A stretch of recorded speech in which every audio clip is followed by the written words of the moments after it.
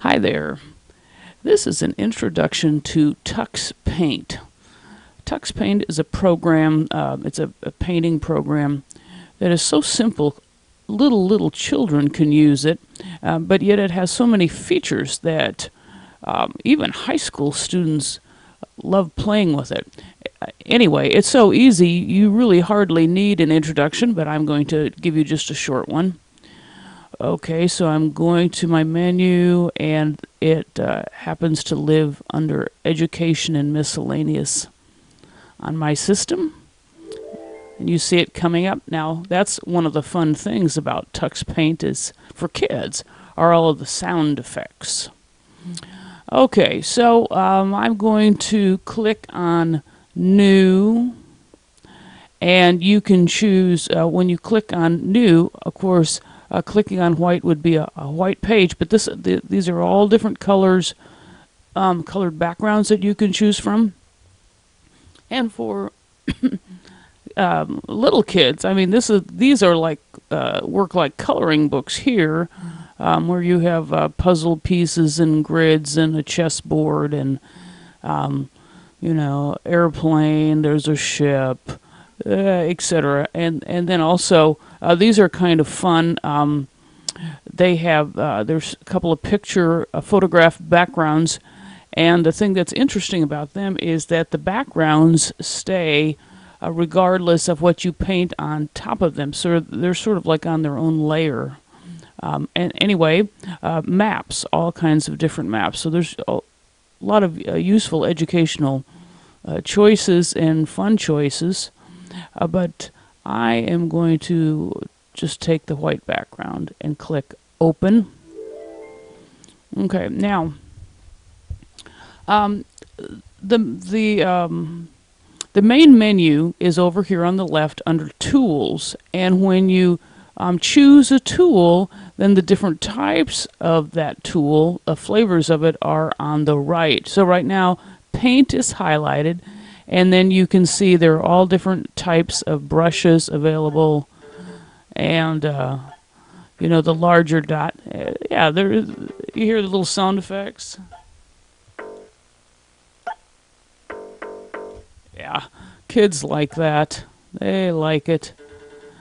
Okay, and so going down, all kinds of interesting things. You know, um, with the paintbrush, you could choose a different color, and uh, instead of drawing a line, um, you know, you're just um, doing one click and getting something different. Now, I think this is an interesting one. Uh, there's a cat and a squirrel. When you draw with the cat, uh, or let me see, is this the cat or is this the is this the cat or rabbit? I think this is the cat. Okay. Um, uh, okay, coming down here. Where's the other one? Oh, yeah. This is the squirrel. But anyway, you see that it changes your position depending upon where you're drawing. Okay. Okay, so all of those different um, paint paint brushes from uh, more conventional uh, type um, brushes to some interesting shapes.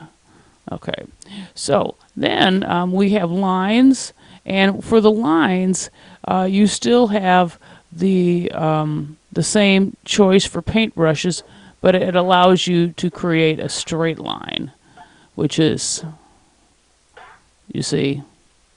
So um, that's what's that's what's different about choosing the line. Okay, then um, we're going to go straight down to text.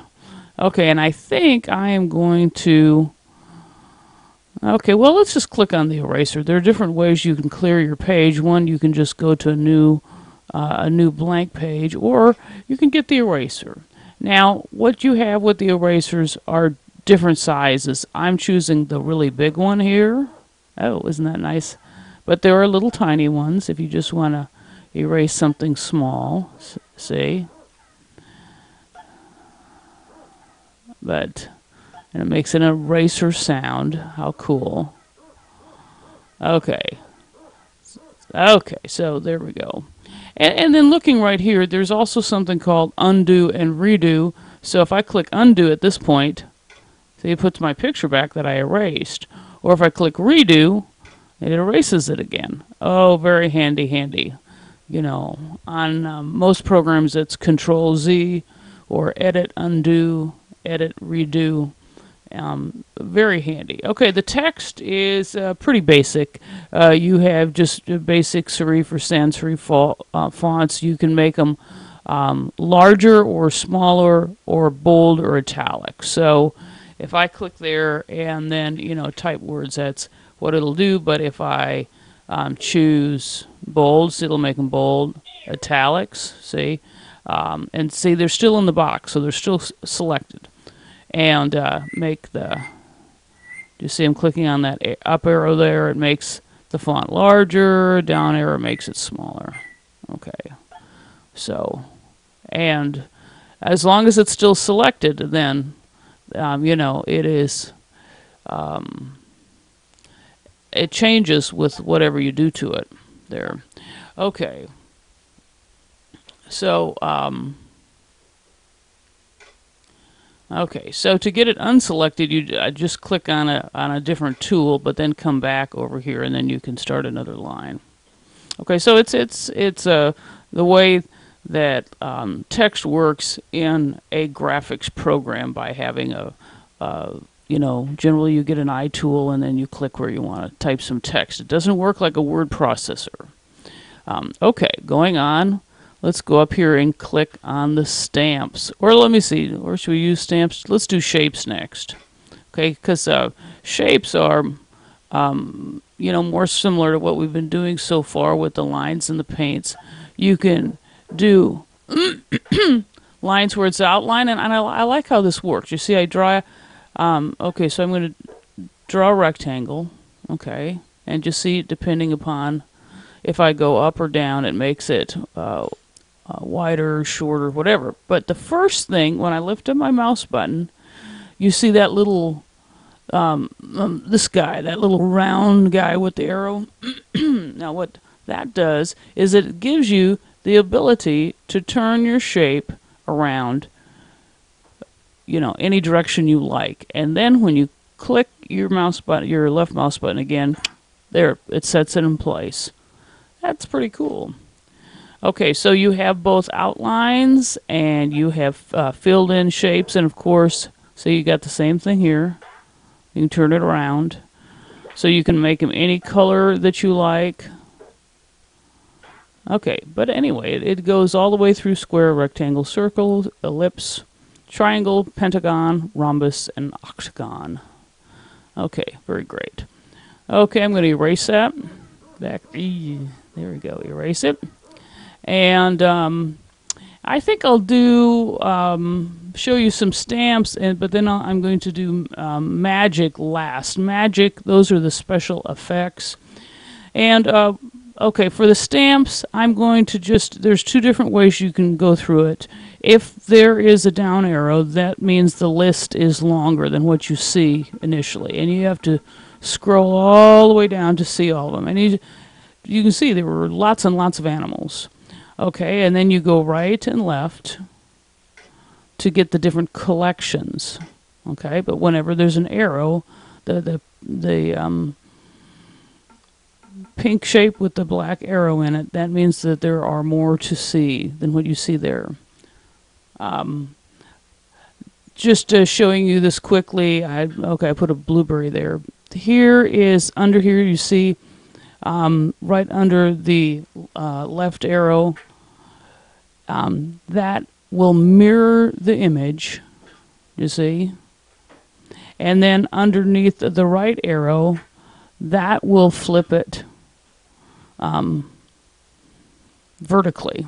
Okay, so we have a horizontal flip and a vertical flip, and down below that, um, there are all these uh, little lines. That's how you make something larger or smaller. Okay, very simple to use. Okay.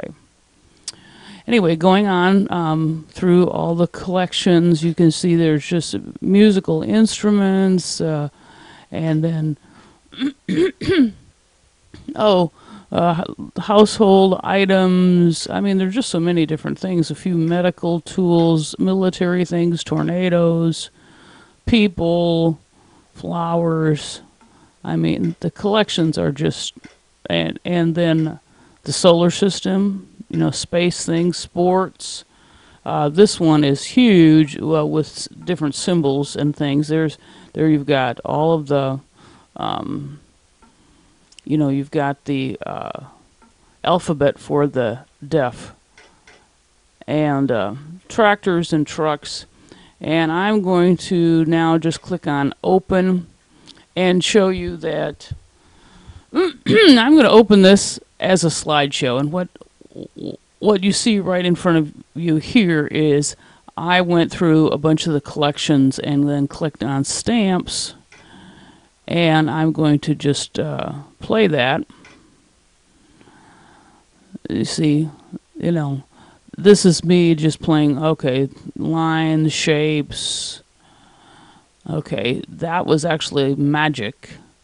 Text, flowers, solar system, um, letters.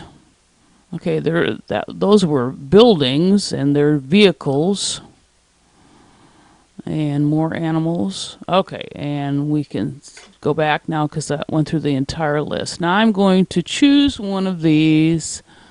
Um, uh, I think I'll choose this last one and just. Oh, let me see. I still have to go back one more because I just want to open one. The other, I was still in the slideshow feature. Do I want to save it? Um, nah. Okay.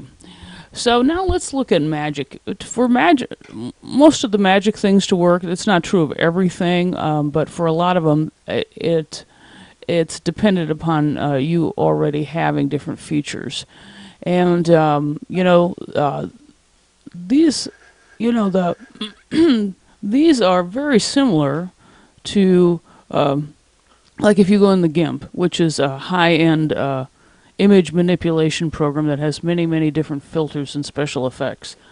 This collection of special effects is it has many of those same things in uh, that are used in um, professional editing. So I mean that that's pretty cool. Um, but you'll okay like emboss. Okay, there we go. It looks like it's embossed. I do that over the top of like the little sound it's making. Okay, but there we have an embossed rabbit now. Yeah, okay, yeah, kind of cool, kind of cool. Okay, and of course, once again, there's flipping. Okay, that flipped the entire thing. Um, uh, dripping. Yeah, makes okay.